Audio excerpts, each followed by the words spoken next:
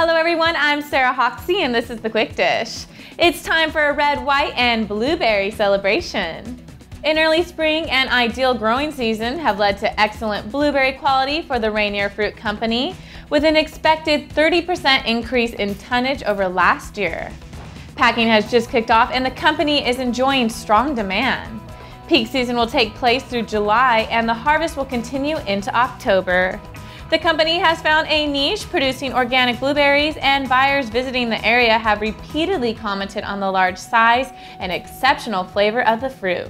Suzanne Wolter, Director of Marketing, tells AndNowUKnow.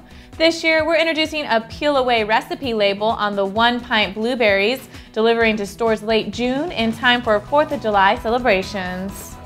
From red hot to sugary sweet, this company has the perfect summer treat.